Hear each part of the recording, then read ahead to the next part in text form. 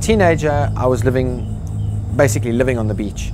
We had a house near the beach in South Africa in a small village and I was surfing every day, spearfishing as much as I could, diving, jumping off the rocks, spending as much time as I could in the sea and on the beach. I didn't want to go anywhere else, I didn't want to do anything else, I just wanted to be in the water.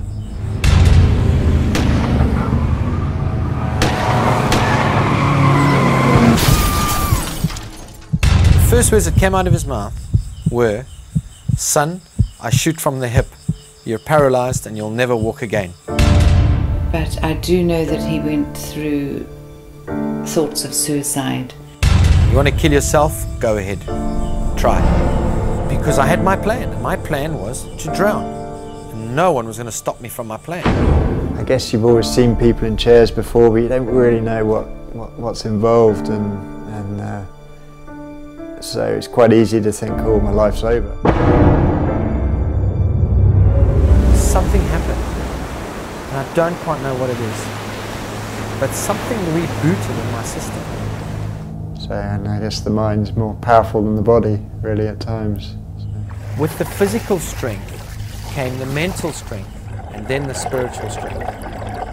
And raising my positivity of my thought pattern then attracted into my life positive events, which led me to meet positive people, which led me to having positive outcomes of whatever I decided to do.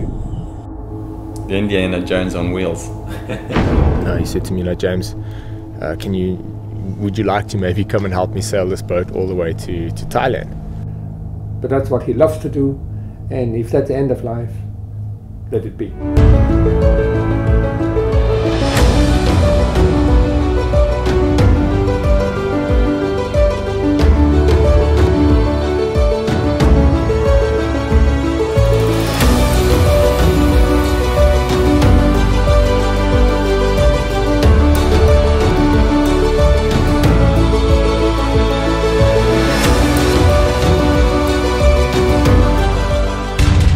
It's a complete miracle that I survived that tsunami, or that set of four waves.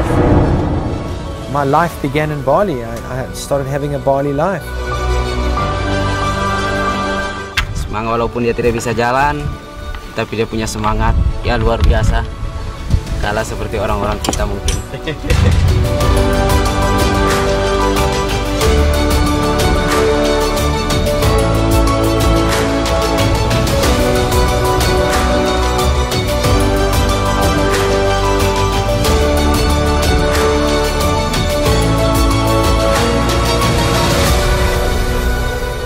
I've proved to myself and to others that life doesn't have to stop because you're paralyzed.